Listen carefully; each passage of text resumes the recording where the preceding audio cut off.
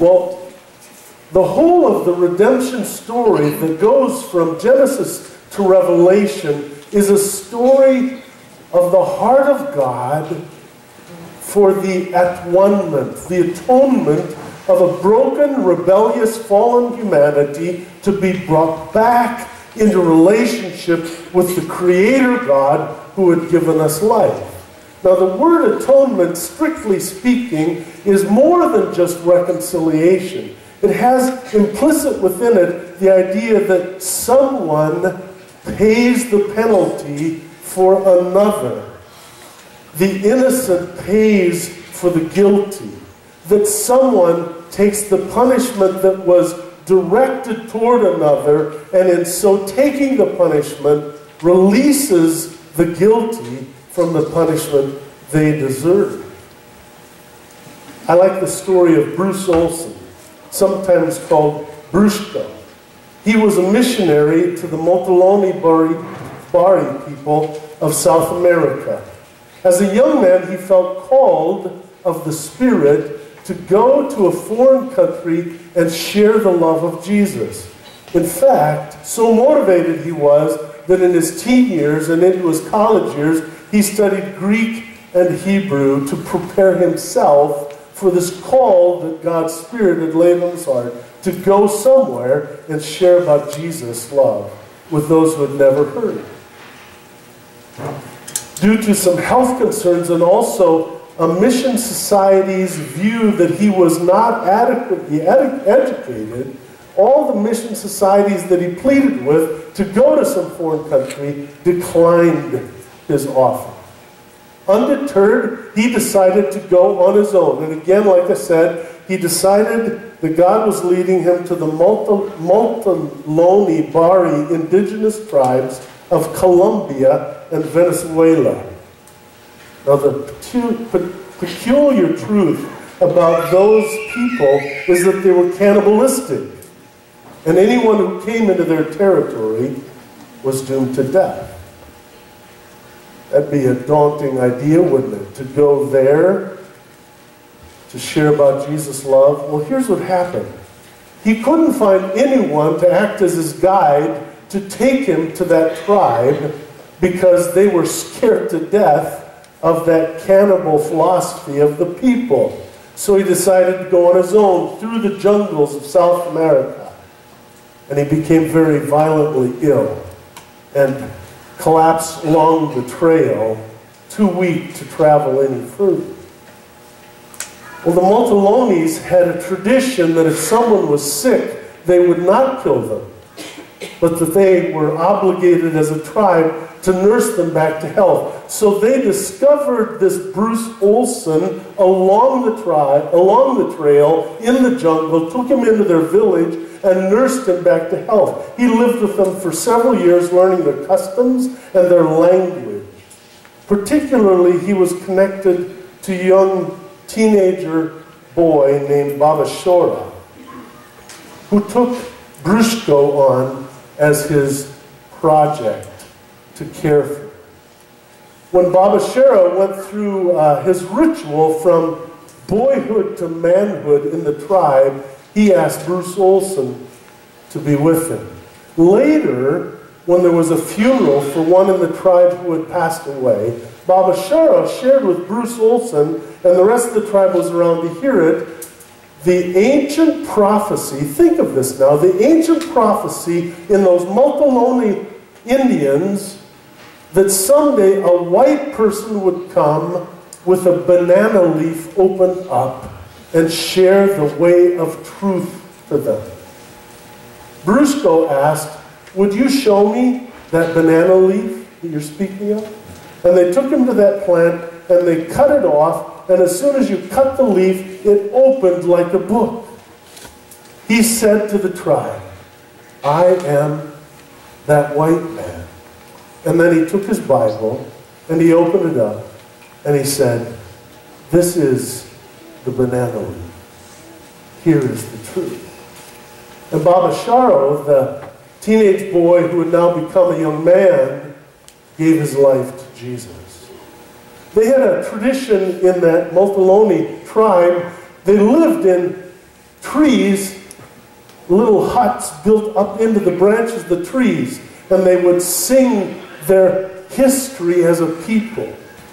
Well, when that time came and they were singing that tradition, Baba Sharo added at the end of the song the truth of that prophecy fulfilled in Bruchko's coming to them, and the truth of Jesus, the Son of God, who came to give his life for them, and to die on a cross for all their wrongdoing. And the whole tribe came to faith in Jesus Christ. All because one young man felt that the Holy Spirit had called him to share the message of Jesus Christ. Now, I start with that story because one individual took great risk at the initiative of God to share Jesus with some people who were lost from God, ignorant, and had never heard.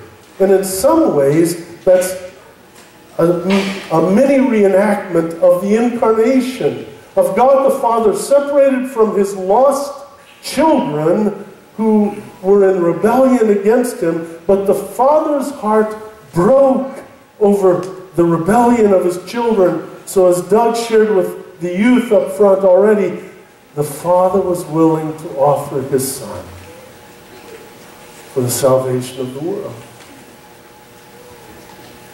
Now we know from the scriptures in the baptism of Jesus, according to the Gospel of Mark, that when Jesus was baptized, the Father, with a thunderous voice from heaven, said, You are my Son, whom I love. With you I am well pleased. And in the Transfiguration, which a few weeks ago we studied, where Jesus was transformed into glory before their eyes, again God spoke about his son, and he said, This is my son, whom I love. Listen to him. So we know that, like every parent, maybe to the multi infinite max, God the Father had deep love and pride for the glory of his Son, the glory of his Son's willingness to obey his Father and go on this mission have you seen my boy? The Father God would say, Look at him. That's my son. So deep love of a parent for his son. Then the question does become why would God the Father offer his son to the world? Because he loves you. We know that the scripture says that God knew you by name when you were in your mother's womb. He knew all of the days of your life before you'd lived one of them. And it says that He had decided before the foundation of the world that He would choose you to be His very own and that He would redeem you in the blood of Christ with grace that is poured out and lavished upon you till you're filled up and you can't hold any more grace because Jesus Christ has given his life for you. Isn't that a beautiful story? So we come back to the prophecy read from Isaiah 53, and we realize the cost to God and to Jesus that that would be the case. That he took on our infirmities, that he took on our sicknesses, that he carried our sorrows, that he was crushed for our sins, that God laid on him the sins and the rebellion and the iniquity of us all. And then we read from Matthew how every character in the story, from their own self oriented perception, reacted to Jesus in a way that was good for them but ended up killing Jesus. The chief priests and religious leaders, even before the trial began, had already predetermined this guy's got to die. Judas, trying to take matters in his own hands and push through a zealous rebellion, put Jesus in a position where he thought thought Jesus would use his miracle power to free himself. Instead, he realized that Jesus, the Son of God, was going to surrender to death. And Judas said, I've betrayed innocent blood.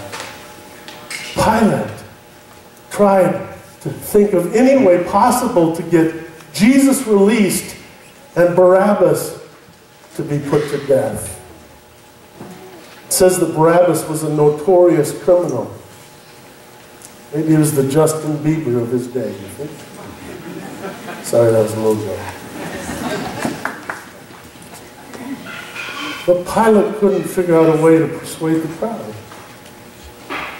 And so he claims he's innocent, washing his hands of Jesus' blood. But the truth is that this was the worst violation of justice in the history of the planet. That the innocent, the Son of God, would be put to death. Right. It says they took him out and they drove nails through his hands and they hung him on a cross between two thieves at a place called Golgotha. His body was ripped to shreds. His body must have been oozing blood as he hung on that cross. And he bore the weight of the world. Have you ever been so sad that your body just moved with sobs so deep you couldn't express it? And the tears just flowed? It says that he carried your sorrow. No wonder. He said to his father in the garden, Is there any other way we can do this? But there was no other way except that he would die on the cross.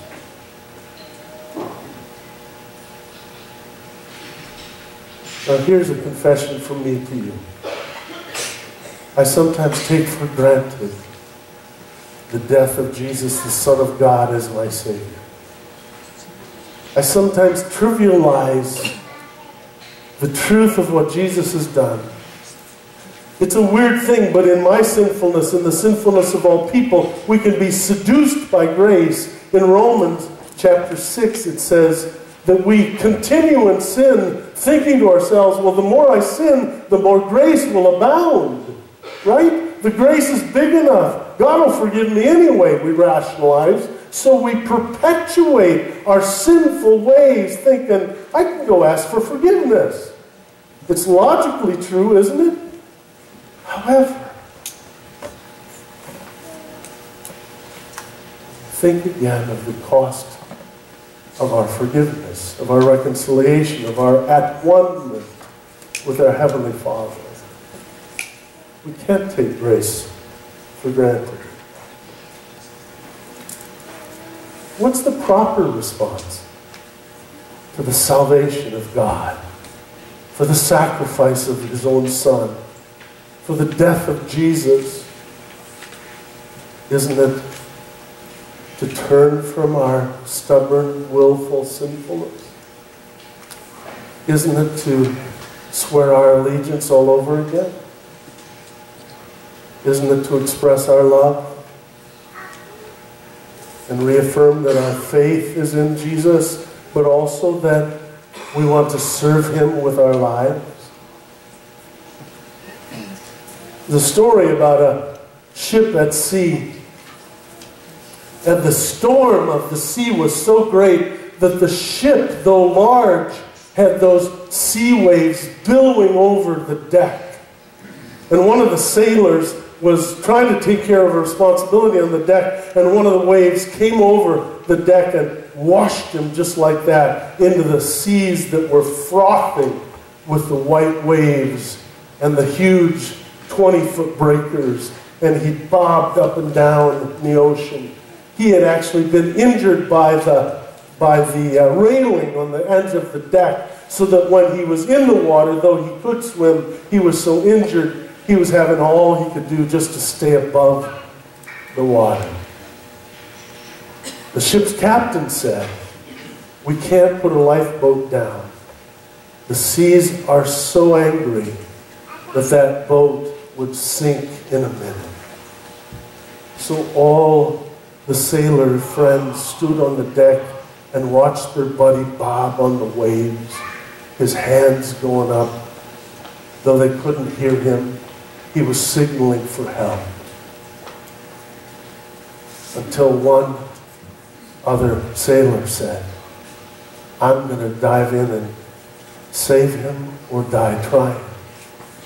And he dove into those stormy seas, and though the waves were the way I described, he struggled against them to try and reach the man. And he reached his buddy, and he began swimming back toward the ocean liner. Almost miraculous, but he made it up against the hull. And so the captain decided that they could risk dropping the boat right against the hull. And both of them were brought up on deck. And both of them were semi-conscious for the intake of water. And the drowning man came to first.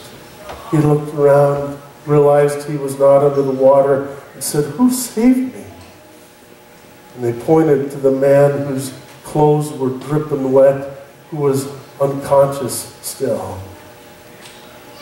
And the drowning man crawled over to the man who had dove in to rescue him and wrapped his hands around the legs of the man who dove to save him and said, For the rest of my life, I'm your servant. I'm your servant.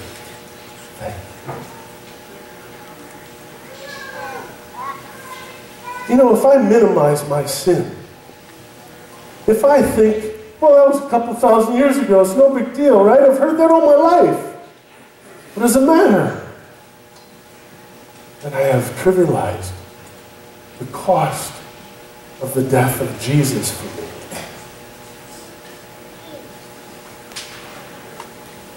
My appropriate response is, without you, Jesus, I am lost. I need your forgiveness. Without you, I have no salvation. Without you, I cannot belong to the Father in heaven.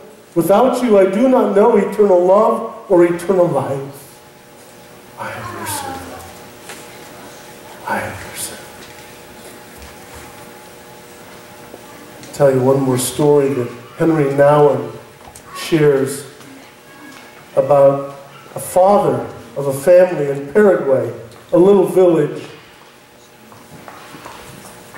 The father was a doctor, and he had a special love for the people of that village and he would treat them, and if they didn't have the ability to pay him because they simply didn't have money, he would treat them anyway, and he would show them love and kindness. He truly loved the people as he lived among them.